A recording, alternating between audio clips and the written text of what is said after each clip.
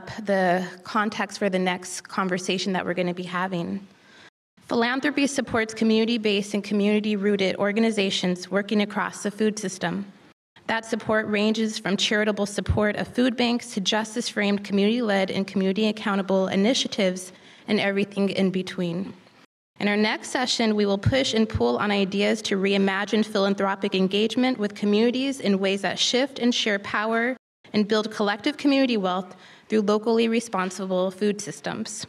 Our moderator for this discussion is the amazing Jen Zuckerman. Our panelists include Stacy Barbas, Senior Program Officer for the Health of the Kresge Foundation, Virginia Clark, Executive Director of the Sustainable Agriculture and Food Systems Funders Organization, Jessalyn Keza, Community Engagement Program Officer at the University of North Carolina American Indian Center, and Olivia Watkins, co founder and president of the Black Farmers Fund. Thank you so much, Monica, and thank you again, Dr. McCoy. And I think something from Dr. McCoy's slides are particularly relevant as we step into this philanthropy panel because his slides clearly demonstrated where wealth is. And philanthropy represents white wealth, philanthropy represents white power. And philanthropy represents wealth that was created off of stolen labor from enslaved Africans, off of stolen land from Jessalyn's people, from Vivette's people, from Mary's people. So I want to acknowledge what specifically it is that we're talking about. And I also want to acknowledge, as we're thinking about shifting and sharing power, that you can't ask those without power and wealth to shift and share power and wealth. So we're talking about how are we shifting? And so I get to be up here with friends and family, which I'm so excited about today. And as we're getting started on the panel, I'd love for you to just frame, you know, how you come to this work as you introduce yourself. So we'll go down the line. Jessalyn, if you don't mind starting. Very honored and humbled to be here with all of y'all. My name is Jessalyn Kazaya. I am an enrolled citizen of the Lumbee tribe of North Carolina I came to this work very unintentionally. I am a child of rural North Carolina, um, first generation college student, that, which is what brought me up to the Triangle, which is where I've now spent my career. Being involved in food systems work is in my blood. Everyone in my family has been in a relationship with the land, grown our food. I very much grew up in that environment, thankful for that grounding. It's a very different world up here where I now live. In my professional work, these days I'm working at the American Indian Center, which is out of UNC Chapel Hill, and I have the very fortunate honor to be able to work in service to all of our tribal nations statewide. I have to also say I'm always humbled to speak before my elders, and it is upon my elders' shoulders prayers, hopes, dreams, wishes, that I stand. And it's very clear to me that who I am accountable to is my community beyond any of these structures and systems that have been created around us and without us. But where I do find myself in daily, in these spaces that were not created with us in mind.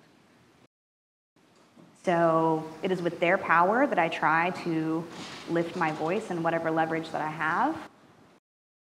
And working in Funding is not a world that I ever anticipated. I think navigating the world of grant makers, and I've often worked in intermediary spaces of organizations that are regranting from larger funders, and I find myself these days in lots of conversations with larger funders explaining dynamics that are happening really on the ground in community, which is where I've always tried to keep my feet. So that's the perspective that I come to you today and I'm honored to be up here with folks, some who I've known for a long time, and some who are new to me. I think the conversation is really changing as it should. I think it's about, you know, hundreds of years too late. but I'm thankful and honored to be in this generation, in this time and space where we're able to lift our voices, we're able to push forward, we're able to see these dynamics changing. So, thank you. Hi, everybody. I'm, I too, I'm so glad to be here with all of you. This has been such an amazing day. It's been a little bit of pressure after all the speakers and have us coming at the end of the day, but I'm so honored and also humbled. So don't dislike me because I work for a national foundation. I, I landed there, and I hope to use this place of privilege to do good. And I am at the Kresge Foundation. So a couple things I just wanted to mention also is I have a tendency to be better behind the scenes than I am in front. So if you hear something today that sparks your interest or that you want to know more about that I don't go into detail, please feel free to get in touch because I'm, I'm happy to do that because that's what this is about, right? It's about relationships. So I will say that I, I work for the Kresge Foundation, national private foundation located sits physically in the city of Detroit and also in the suburb of Troy, Michigan.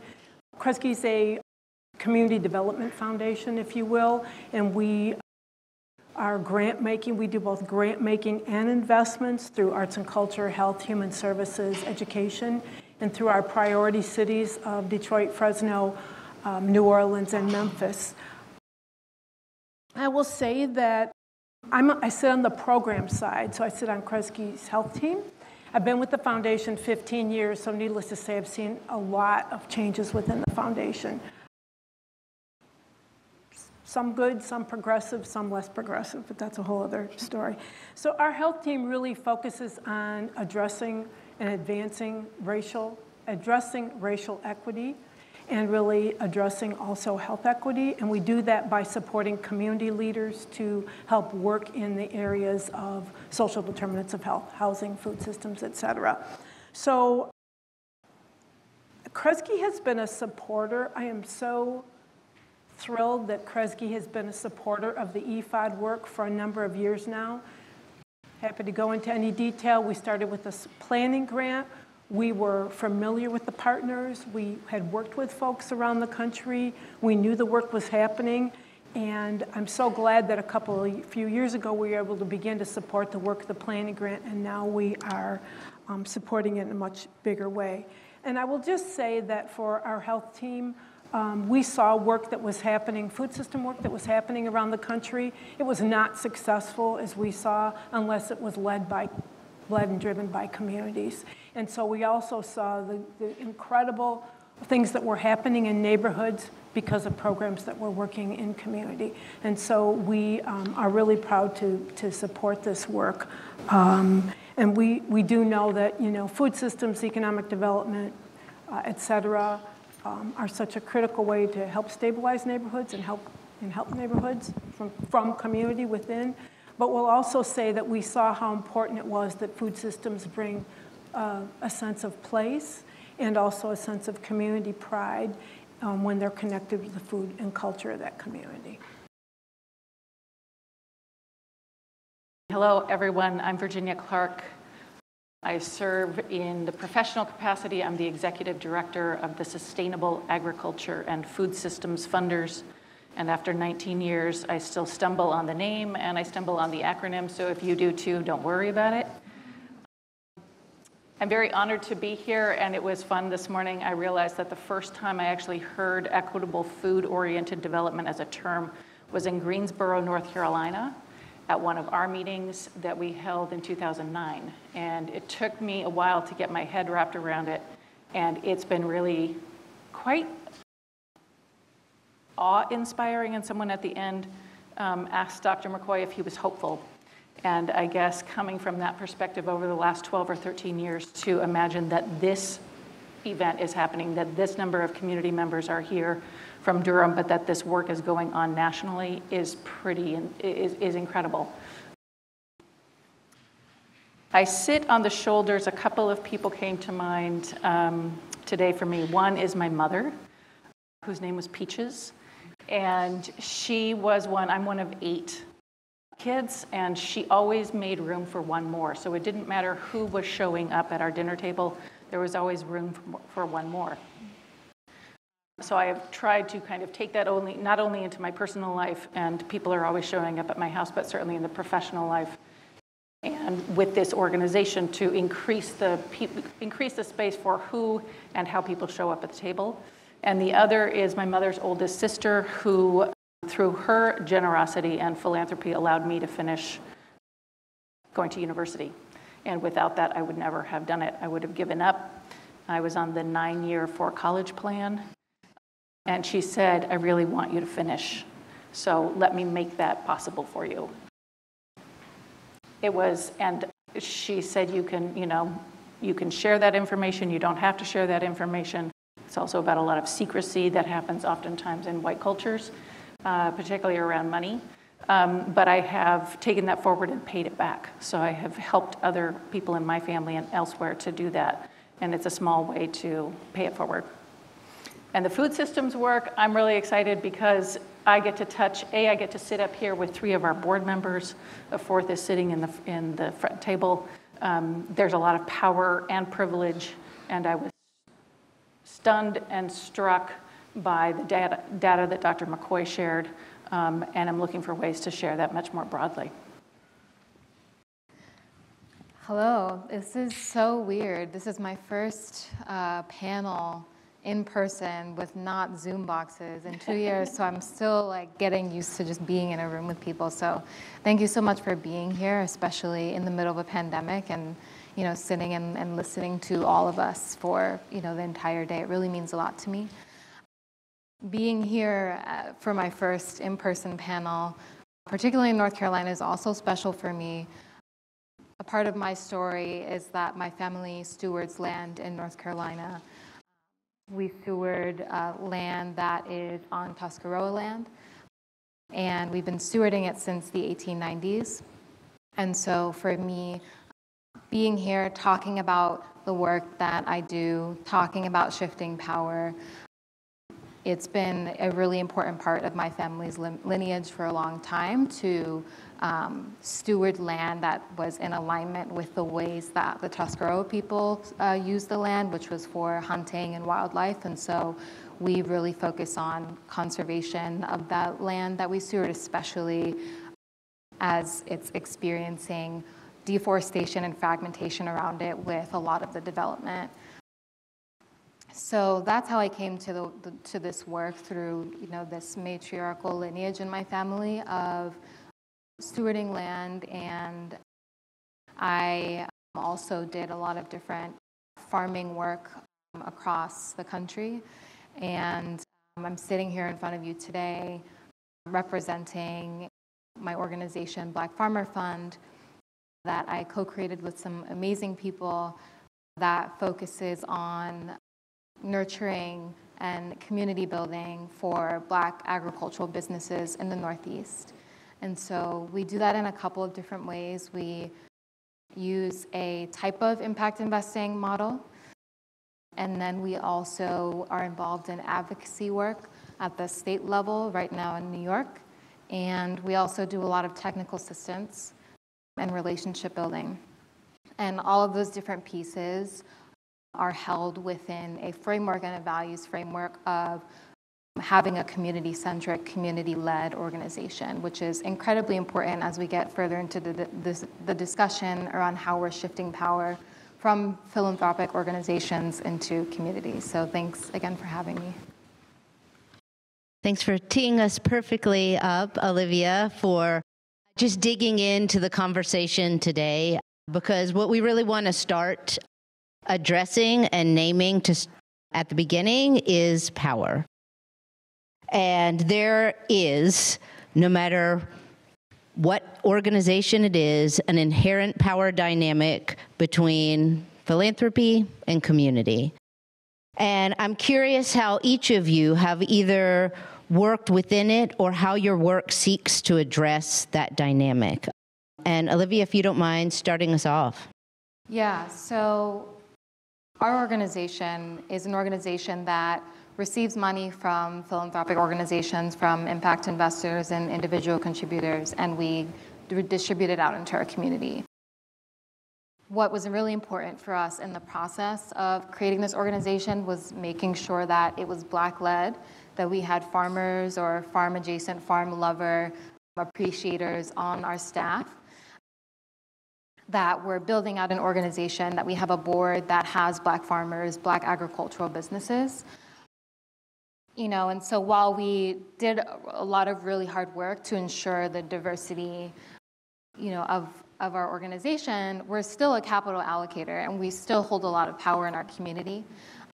And people see us as a source for financing, which was our goal. We were created because our community in the Northeast, they wanted a, a financial institution that they could trust. And so we're a financial institution, right? We have a financial vehicle but still, that doesn't mean like, oh, okay, just because you, you know, you have a fully black staff and a board, you know, we, we trust you automatically. There's still a power dynamic that exists. And one of the, the main ways that we, you know, have looked to shift that is by bringing in the, the community that we have planned on investing in into the decision-making processes of how that money is being distributed. And so last year we did a pilot fund round, right? Because we're all farmers and we're all grassroots organizers. We had no idea how to run a fund and we were starting everything from scratch.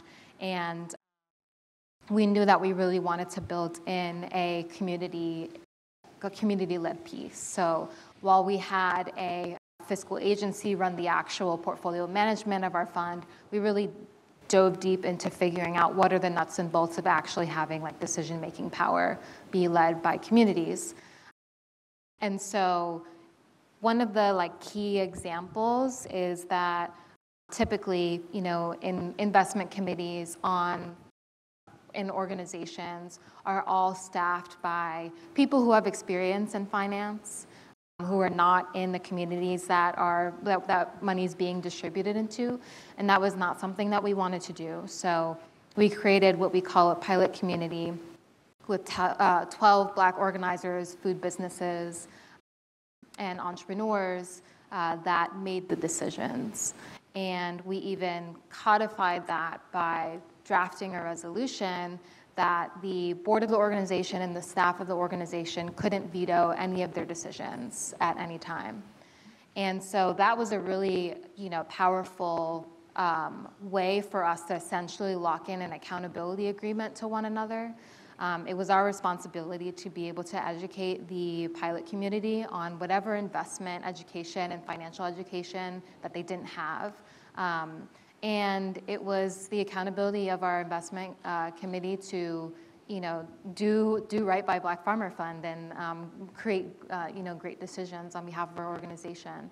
And so we completely relinquished that power to our pilot community. Um, and so I would say that's that's one of the major ways. Yeah, thank you so much, Olivia. And I just like wanted to point out one aspect of um, the building things that haven't existed um, and what that means in terms of the time that it takes, the space that it takes to create things that haven't existed before, and just the the trust and relationship that's critical in building something that might work, it might not, but it will be iterated on. So thank you so much for, for pointing that out. Um, would love to, to hear from other folks on the panel, wh- whoever else would like to jump in about uh, kind of addressing that power dynamic. Yeah, I can jump in and say something. Um, the power dynamic is so inherent and it's so physically felt um, I think it's a very embodied experience, often for community, um, when funders are coming in, or for site visits, or just understanding um, the deep history that's going on. And so I want to talk about power in a couple of different ways. I think if you can't name that power dynamic, then you can't be an authentic relationship. And I think that's a place where we really need to stop ourselves and talk about very specifically where this money is coming from, who has decision making power, who is sitting at the table, who is representing different organizations, who speaks first, where the most listening is happening in meetings, and at all points calling attention to that power dynamic that's there, and at all points trying to find balance when we're talking about equity, right? How are we shifting that? We can't shift the balance of power if we don't recognize it and if we don't name it and call it out very explicitly. I'm also thinking about, and we're going through a situation um, at UNC right now with uh, eroding support for Native um, studies, faculty, staff uh, on campus. And I was I had to step out for a for a Zoom about that over lunch. Hate that I missed a little discussion with all of y'all. Would love to follow up with you. Um, but I was thinking about the power. Power was a word I found myself coming back to in that um, because I think there's the institutional power, right? Of money, of privilege, of education, right? What is valued? And we're going to come back to talk about values, whose values are valued. But there's that institutional power, and then there's to me real power. Real power comes from community, real power from, comes from being together, real power comes from finding each other authentically. When I think about power, I think about Miss Vivette and how this woman, as you all experienced, radiates the embodied truth of power. Something that's so profound to me. Um, I was moved to tears just your being up here on the stage. I always am in your presence. That, that to me is true power. And what are we recognizing as power? When, do, when, we, when we see that power, we feel it, we know it. And how much more real is that than anything that we put stock in as power? These, these false illusions of money.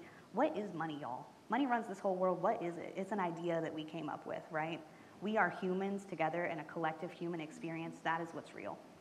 That's where our real power lies, right? But we have to call out these falsehoods of power and able to be able to work with those dynamics, right? Um, I'm thinking about the leaders in my community who truly embody that sense of power, and that what it comes from is it comes from listening. It comes from turning to the most affected people first, hearing, making space for, but then, and I'm a person who works at a PWI, right, at UNC, which was the first public university on this land. And how deep it is to me the power that they've institutionalized and embodied without making space for the true power that exists here on the ground in this land and our people, right? I'm going to come back to values in a minute, but I know other folks have thoughts. Well, um, I'd lo- I, I appreciate you naming all of that because I think, you know, again, speaking to that institutional power, um, and I need to lift you up here, Stacy, because Cameron and Aaliyah and I got to experience you wielding your power in a way that was in support of community organizations. And the badassery of the women continues uh, and will be one of the themes that we lift up from the con- uh, from the conference definitely. And um, I would just love for you to speak about because there's a lot to navigate within your organization and in your role um, but just your ethos of that Stacy would be great to hear. Thank you. Um, the biggest compliment you could give me is that I'm a bad I'm, I'm, grateful. Um, and Jocelyn, as you were talking, I was, I was thinking about, and I, uh, uh, forgive me because I'm going to repeat a couple things you said, is um, so the way, so I'm, I'm very lucky because, um, so our foundation began to think about equity and what that meant, and we've been looking at what that means um, internally and um, externally, how we do our grant making, what we look like internally. So there's been a big um, a lot of work on that for a few years, um, and we have some incredible people leading that work. Um, and I will say that, um, and as a health team, we're interrogating every last one of our strategies, and I won't go into those in detail, but we're looking at that. And what we know at, for our team, one of the principles that we live on, it's not about um, it's not about the grants, but it's about how, how you work with folks and how you do the work, because it's not really just about the grant. So that's really important. And we, we're committed to, as my, one of my favorite colleagues will say, we're committed to learning and unlearning, right? So we continue to learn. And what we adopted as a team a number of years ago was one, is that we do truly believe that communities are but people are experts in their own communities, and we want to listen and learn from those communities to see how we can support those communities because we think that's really important. We also think it's hugely important to take to make sure that organizations and folks that we support take into context the historical trauma that's happened in that community. Because people will say, oh, yeah, we know about history, but no, we want to really look at what that means, and we think that's really important. Um, and we know that once a, a, a solution comes from a community, it's much more sustainable, right? It lives on because that's what's supposed to happen. So we're really, um, we're, we really try, try to do that. Um, the example that Jen's referring to is, you know, we had a situation, um, and I won't go into details, um, in, in the foundation, and I knew uh, we had two key partners in the foundation that could help bridge that work uh, Chantel Rush, who is our managing director of um, our American Cities practice, and my colleague Sidra from that team is here today, and I'm, I'm, I'm grateful that she's here with us, and also Anna Cruz, who is our uh, managing director of uh, strategic learning and evaluation. And I lift them up because they're two um, women earlier in their career than I am, two women of color who are managing directors in a foundation. That's a big deal. And they are phenomenal women. And so being able to, to do to listen and hear and see the gifts that other folks have and be able to share that, I think is really important. I mean, there's so many more things that, that I could mention, but I just want to say I think the listening and hearing is critical. And I wrote something down that you said that I think is so important is who speaks 1st mm-hmm. right? So when we go into when we go for site visits or whatever we call them, we don't walk in and say, "Hi, we're here." We work with the partners and say, we're thinking about coming. We really would love to see your community. Are you interested in having us come? You know. So first of all, you know. Second of all, is one or two people okay? Do you feel better? Are you okay with that? Do we need are four or five people too much? You know. And will you help us design? What? How would you like to see that happen? Um, and so it, I think those are really important in in in leveling um, the field, but I think that I really like that idea of who speaks first. I, I think that's it's a really important point. So thanks for bringing it up. Well, Stacy, I think one of the things that you brought up that um, doesn't happen often in philanthropy is is the asking. Um, and then the second piece, which is the actually listening and doing. So asking and then not questioning the answer um, is really key to that bringing down of the power differential. So if you ask, that's what it is. Um, and we've got a lot of different buckets to move into. So um, I did want to, um, we will circle back to power, but I'd also like to talk a little bit more, since the conference is about rooted in relationship, I'd really like to talk a, a little bit more about relationship um, and the learning curve that has to happen to authentically engage in relationship.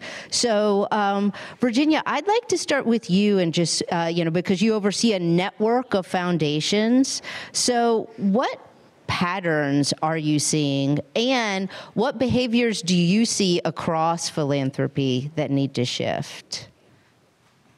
Well, we don't have all day. um, but one of the things that has really struck me um, since I've been doing this work is the power, and this goes to the power dynamics and the relationships that are shifting amongst those who are in philanthropy. So it's a very different um, experience for those coming from Kresge or coming from a, an individual donor who has only a million dollars or a corporate foundation. So there is a hierarchy within philanthropy and within investors. You know, Jeff Bezos is valued more than the one black billionaire that is up on that list. There is an inequity in terms of who speaks first. Oftentimes, you know, Jenny was talking about um, asking doing or listening. Oftentimes, the bigger foundations will come in and do, and then maybe they'll ask, and maybe after someone calls them out on it, they'll listen. That's shifting. And part of it is shifting because people in community are saying, we're not going to listen to you anymore. We have something to say, we have something to show you. Your work is only going to be so successful, or it won't be successful if we're not successful. And your dollars will be spent unwisely and they will go, you know, not to good use. So that's one of the things that is, is shifting is that people are starting to A, um, listen between the types of foundation. I actually had a large foundation said, well, we don't really need to belong to your network because it's mostly just those family foundations, and I can't really learn anything from them. What was striking is that the family foundations are much more connected to community. They're much more likely to get the money out more long term and get money out, um, you know, with far less strings attached. Uh, there is a, a trend, um, whether or not it just is kind of the flavor of the week in philanthropy this, um, this year is trust-based philanthropy. And people are really trying to wrestle with what does that mean? How do I trust that if I give you a million dollars, you'll do the right thing? But the, the questioning is, what's the right thing? Is it my right thing or is it your right thing? and they're actually starting to ask those questions. So I'm both really hopeful, really impatient. Um, I sit in kind of a weird gray zone because we are both grantee, and I'm seen by many of the uh, partners or the, the NGOs on the ground, I'm seen in the kind of funder category. We don't give out money, we have to, you know, we're in the grant writing business as well. Um, but it's a weird space, but I also see that I have the privilege of having access to the funders, direct access to them. And I can, it's easier for me to call things out that I see or that other people want to relay to funders. Uh, so, those of you who are getting money from funders in the food and ag space, if you have bad philanthropic or investment partners, I'd love to know about them because it's easier for me. Um, I'm not as mm, wed to their money. Yeah. It's not my community who might be suffering if something doesn't change.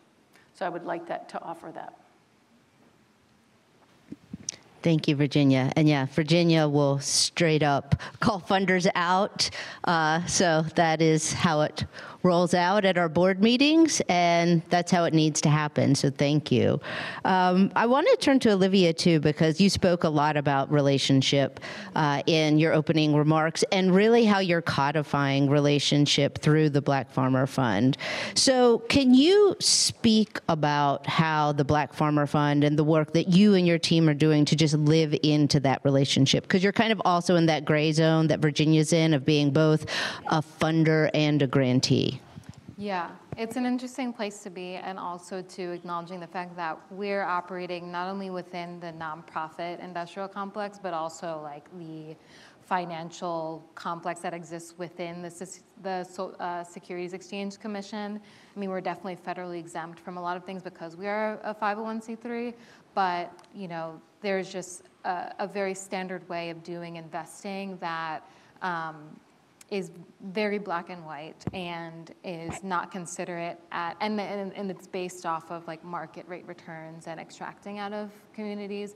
There's been a body of work, you know, recently around impact investing. A lot of organizations like Boston Impact Initiative um, and Boston Ujima Project and others have been, um, you know, at the foreground in terms of being able to change some of these super um, extractive-based loan agreements and security agreements and all those super boring documents that are 50, 60 pages, usually stacks of pages that, you know, now we're having to take that language and expecting, you know, agricultural businesses expecting a sole proprietor to fill out 60 pages for, you know, a loan. It's ridiculous. So um, we um, have learned a lot from uh, Boston Impact Initiative, especially. They've worked with um, a couple of different law firms to reduce down some of these loan agreements from like 60 pages to like nine. um, which is still a lot, um, but it's definitely you know progress in figuring out okay, you know what are the actual what are the important clauses that need to be in here, not only to ensure that the organization can continue to serve the community, but so that way we can also protect the borrower. Um, because typically a lot of the loan agreements are just for the organization. There's no consideration at all for the borrower. And so there are things like um, this happen, This is a, a, thing in mortgages, like you get uh, penalized if you pay early. So we've we've taken out uh, clauses like that. Any sort of penalizations, even if people are late for uh, payments, you know, it's a, about a conversation first that can then either lead to refinancing, you know, or even like accessing emergency fund pools that we have, rather than like this is late, we're not gonna go into why and have a conversation about why, you know, we're just going to make assumptions. So that's one thing that was really important to us. Um, and then another thing that was important to us was like, how can we create um, clauses to incentivize in the loan agreements um, a focus on the social goals that our borrowers have.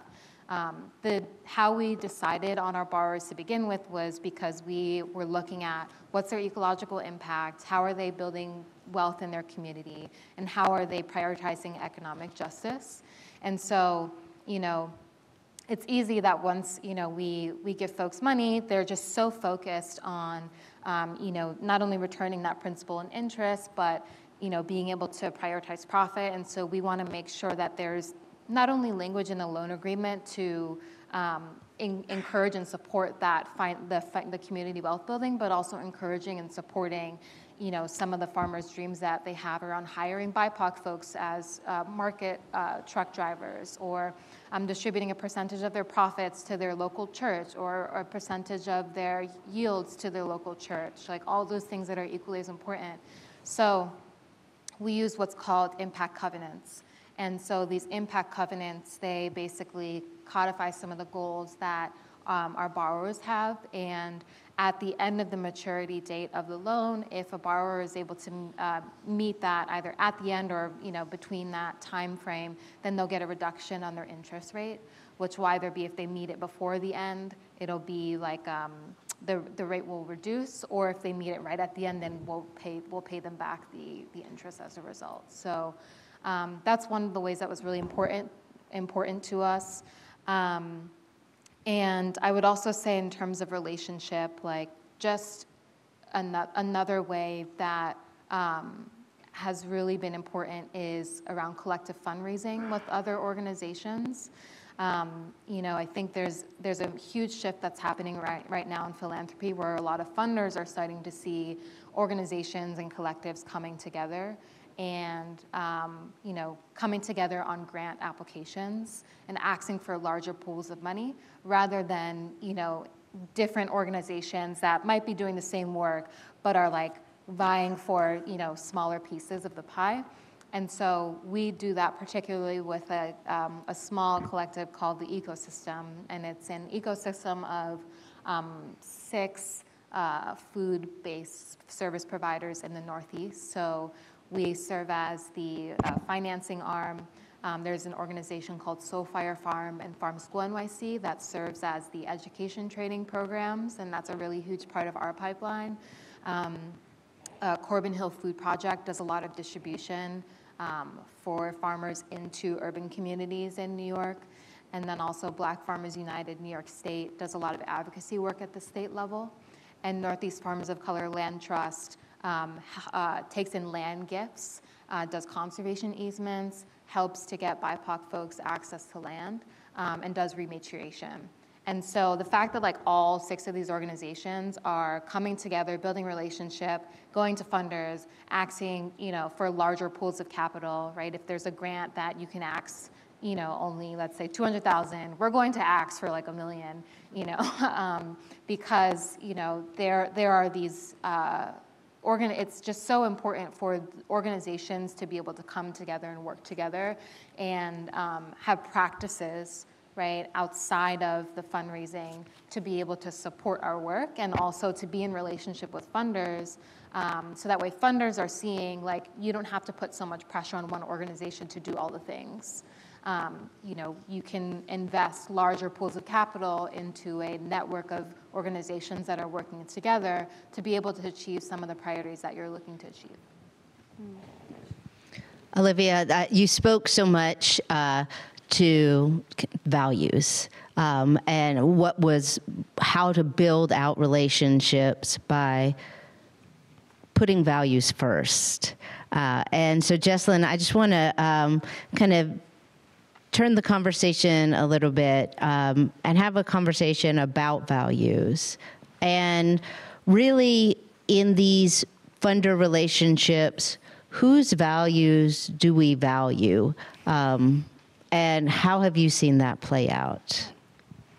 I really appreciate you asking me that question. And I'm going to ask you to re ask me that question in just a minute because there's something that is sitting on my heart so much right here that I, that I need to speak it first. Um, talking about relationship, talking about history. Um, and I think when we talk about relationship, we often approach it from this place of relationship building. How do we come in and start to begin relationships that allow for a more authentic connection? And I think what we're not recognizing in that conversation is that there is already relationship that exists, whether we recognize it or not. Just because all of our histories and all of our present moments are tied together in all of these myriad of ways, whether or not we're recognizing it. But all of that history is in the room with us at all times. And so, what I'm thinking about, particularly, and this is something, um, this may not land well in some areas um, with some people in this room, but this is something I've really started bringing up in conversations with funders because my people are sitting with this um, at all times. And I know we're not alone in that, in really having that um, history and presence, you know, right here at the forefront of any conversation is those relationships that already exist are how did this organization come to be that has all this money, that has all this power? There's a relationship of history that's already there that has been built over generations, over generations, over generations that has brought us to this moment. And if we're not recognizing that history and those relationships all along the way in the moment, then we can't start to build because what, what ground are we starting on? So I'm thinking about, um, you know, in our communities, Indigenous people, we've been here watching the story of America play out since day one.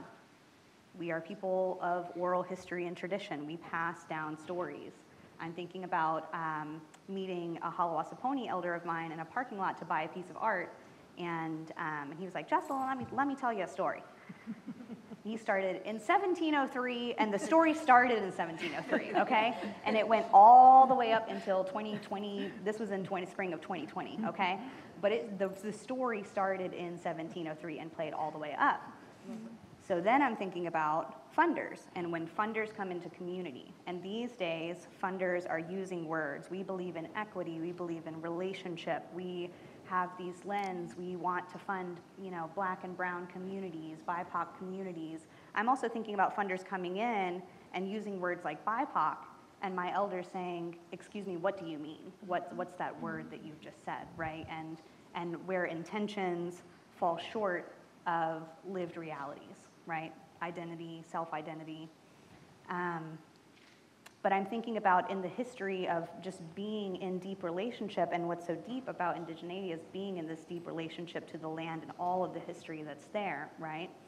So that means that when these organizations come in with these big names that they hold as power and prestige and something that they're offering, we are offering you know, the services of, um, I'm just thinking of local foundations, um, the Reynoldses, the Dukes, the Kenans, right? Um, and we're like, oh yeah, we know the Kenans.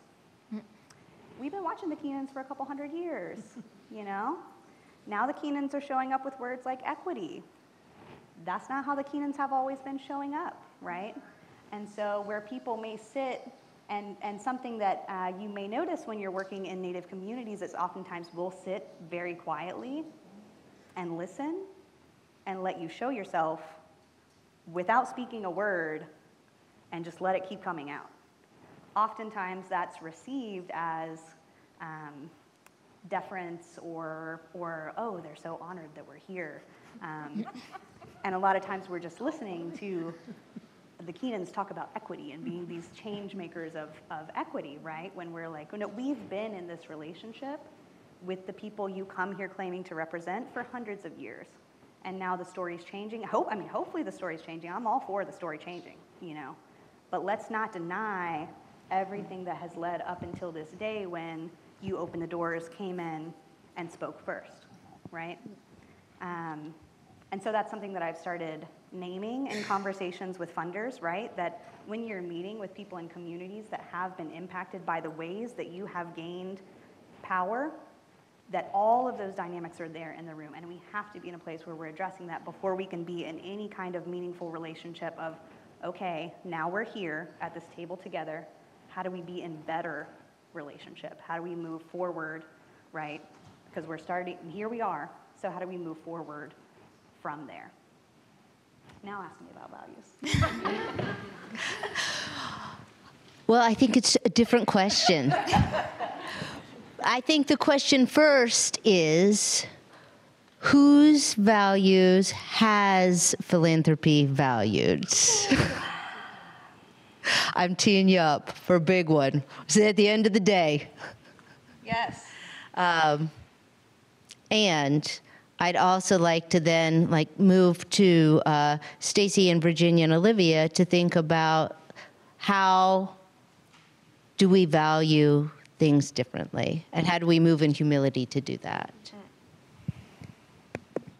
I'm thinking back to how Miss Vivette opened the day with the call of the four R's. right? And being in relationship, having responsibility, being in reciprocity, right? Being in this place where we're sharing.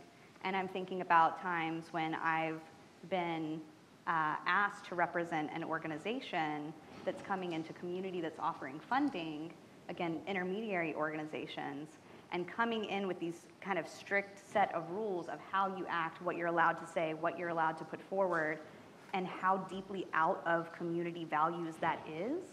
Um, and for me, as a, as a rural girl who tries to keep my feet and my hands and my heart and my ears in community, um, how that was asked of me to separate myself from myself and how I cannot exist in that space. So I'm thinking about um, some of my earliest times going down to the Coharie tribe, who has been doing some of the most amazing, profound, inspirational work in the state that has led ripples across all sorts of communities.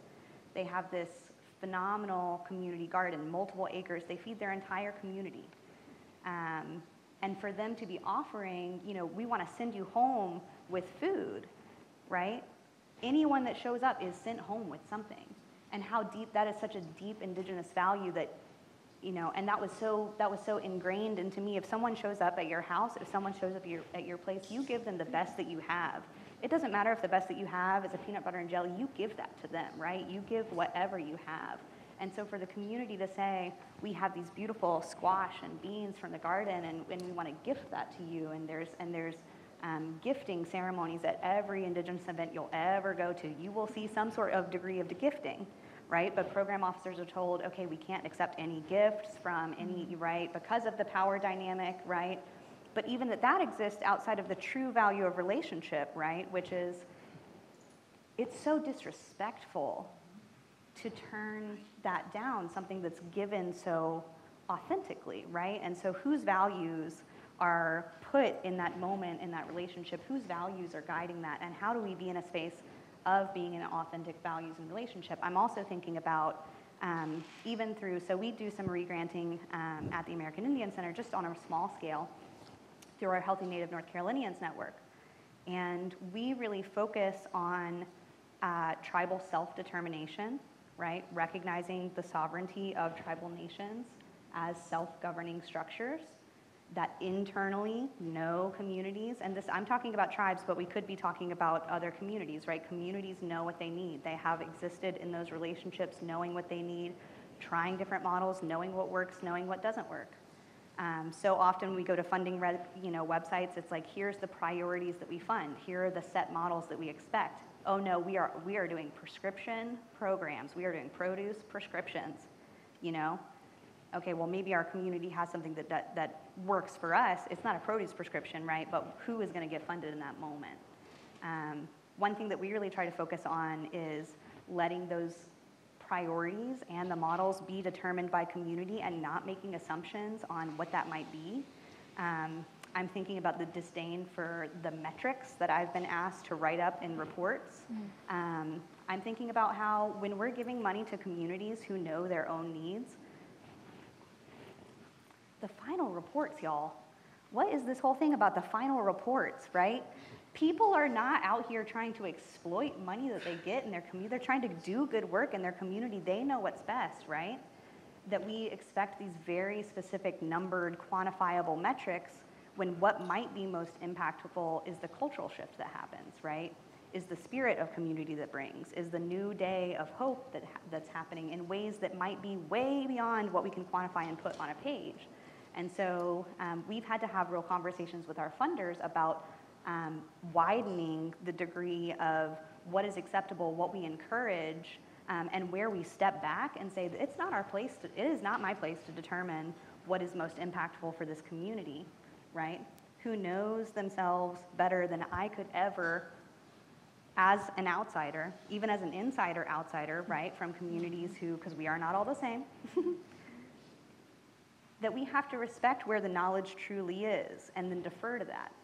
Um, and so it is a value shift in this organization, but also for me, it's just like how do we best align with the values of the community that we're claiming to serve, claiming to be in relationship? How do we stop claiming to be in relationship and actually be in true relationship, right? Which goes beyond these site visits, these expected metrics, these times of showing up, right? How do we be in such deep, deep relationship that we know the people's families, that we know your son's film project, right? That we know uh, Miss Sis and how she loves when the elderberries come in and she wants to be the one to wash the elderberries and direct everyone around, right? And that that allows the work. People's like, oh, well, that's not the work, what the work is about, but that allows the work to broaden and deepen in a way that we could never get to by these ways of how we try to make it so linear. And I'll step back. So um, you've named so many aspects of values, and so much of the values are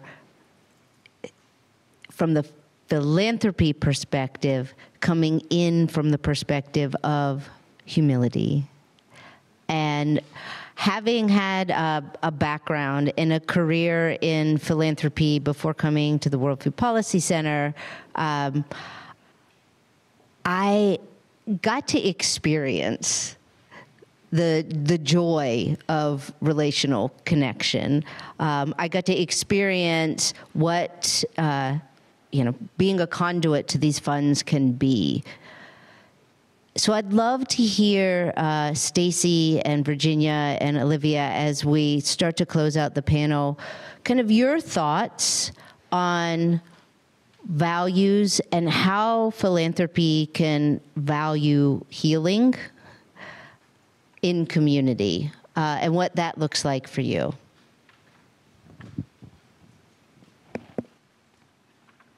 I think I'll, I'll start. Um, what struck me is that I think oftentimes funders um, want to fix something.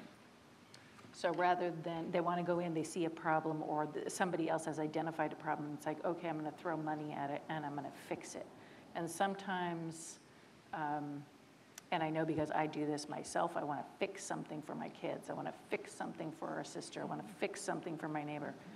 Um, and sometimes the fix is just showing up just being there to um, be present to what is, to understand what is, to understand what might be helpful. And sometimes funders don't think that the only way that they can contribute is by putting, kind of throwing dollars at it. Oftentimes, the dollars are not the most important part. It's about introducing your grantee partner to another funder.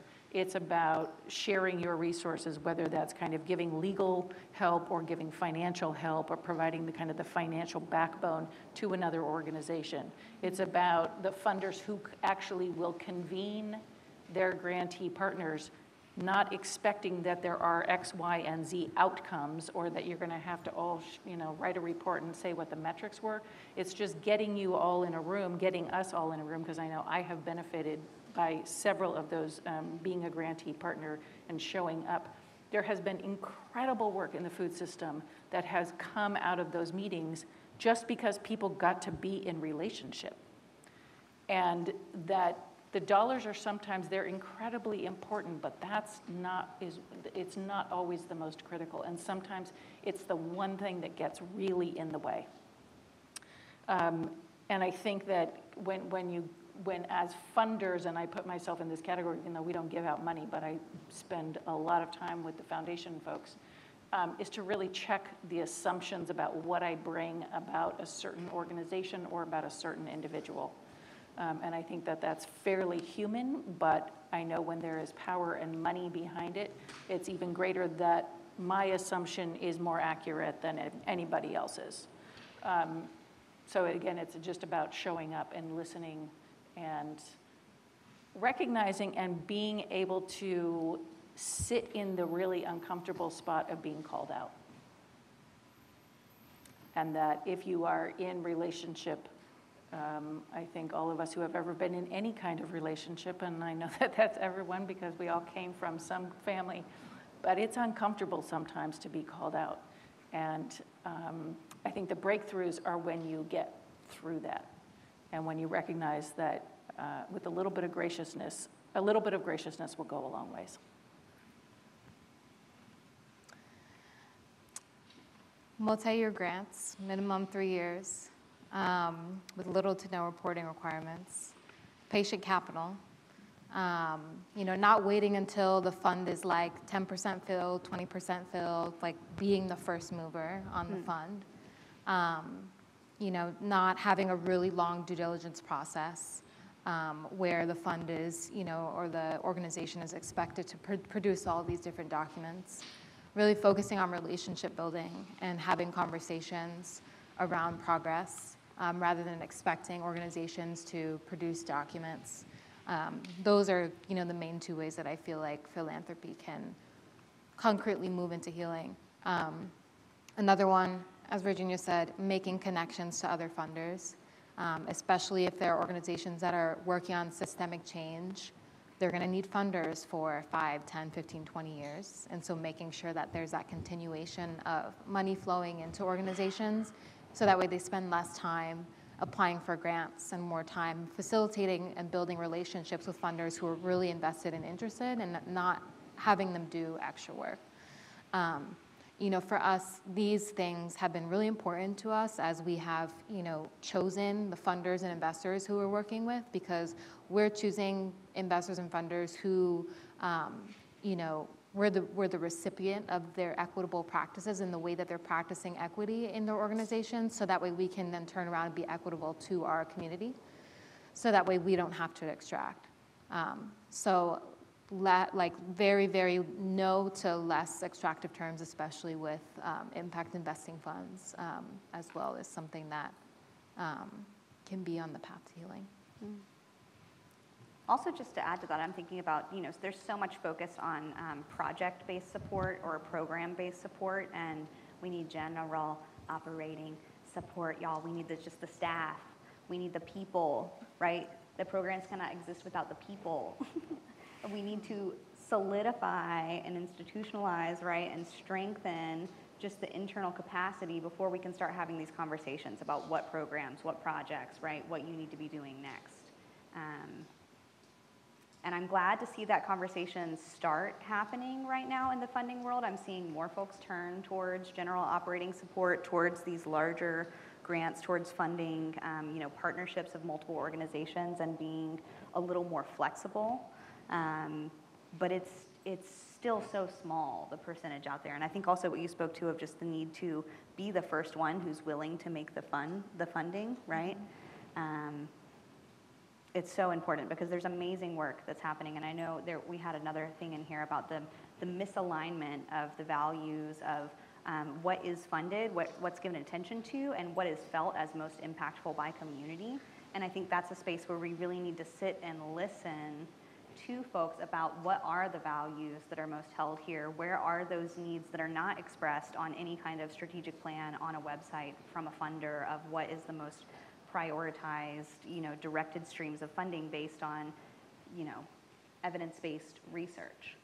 Um, and then let's just stop and talk about evidence-based, right? Whose base of evidence? Who are the ones who are funded to do that research, right? And I'm thinking back to my time, I went back for my master's in social work at UNC, which was killing me at all times with their focus about um, that we have to be, you know, using these evidence-based practice skills, right? But it's only coming from such a small sliver of people who have had historical access to the places where they're able to write the papers to the other people who have also had access, right? We're talking about rich white people and almost no one else. And then I'm also thinking about in strategic plan for the school and their like community-based funding strategy, um, you know, we, we want to be working in community and we want to be supporting community. And then that every one of the bullet points under community had nothing to do with community and had everything to do with funding the research of the people who were already doing the research, who were already in those halls of power, and then that's what you respect as evidence. And to me, none of that's acceptable, right? The evidence is in the hands of the people who are doing the work to serve their community, who have been trying without the resources and know the complications, know that we were talking about systems thinking earlier, right? And how that exists in community more than it exists in any of these because it has to, right? Living in this holistic way. And so just thinking about whose, whose values do we value, whose evidence do we value, whose names are on the papers, um, all of that. I think we just have to really call into question everything that we see in print and where did it come from, whose language is this, who's comfortable using this language? How do people speak about themselves? Is it the same or is it different? And almost all the time it's different. So then at that point, who do we start listening to? John, if I could just make one other comment, I was just thinking about as, as, I, as I heard um, everyone talking, I think that I would say about what, what um, relationships, funders are horrible about time, right? It takes philanthropy forever to figure out a grant making strategy. And then when it happens, it's like now you all have to, people have to, you know, apply next, you know, in a month, and then you have to turn this around. So I think that encouraging uh, folks to the best that you can, and what we try to do internally is, you know, community change doesn't happen overnight. We certainly don't, you know, are not good at that. So being I would say don't be afraid to say those kinds of things to, your, to a program officer or anybody else. Also, don't be afraid to push or make an ask. I, I have been so lucky because uh, I've had the ability to work with Daisa quite a bit. Tricia and I work together all the time, and Tricia, in her very gentle way, well, with all due respect, Stacy, I don't think that's right and I, we want you to consider doing X, Y, and Z. And honest to goodness, it's gone from a planning grant to a grant where we, we listened to the collaborative and we made the funds to now we're recommending $9 million in funding over the next three years so that the collaborative and the fund can do the work. And that's because I've been pushed and you have to be open and willing. So I just say, don't be, a, I know it's hard with funders. Ask me call me up and ask me if I can give you some advice, but honestly, don't back down to what's right. Well, I think that's a great way to wrap, Stacy, because I think that, you know, for those of us who are here on the panel right now, um, we are in philanthropy. Um, and so it is incumbent upon us to work within philanthropy, to push within philanthropy, and to change philanthropy, but we cannot change philanthropy from the perspective of what those of us in philanthropy believe should be changed in philanthropy. So it is, you know, as Aaliyah said earlier today, everyone here is an expert in their own lives. So how we can be in service of supporting the changes that are needed in communities, led by community, and supported by philanthropy is where we hope we can work with everyone in this room to keep moving. So thank you so much.